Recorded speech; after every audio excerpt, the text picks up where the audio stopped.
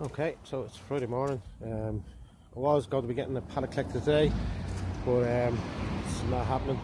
So I don't think they're going to be able to come till Tuesday. Um, so I didn't bother coming down yesterday and getting it ready. And to get ready today. And I had a bit of a thing to do yesterday as a favour to make mine. These are books that are going to the cycling centre, and some of them are going back up to um, my own shed so I can sort through them there tonight and I've got all these books.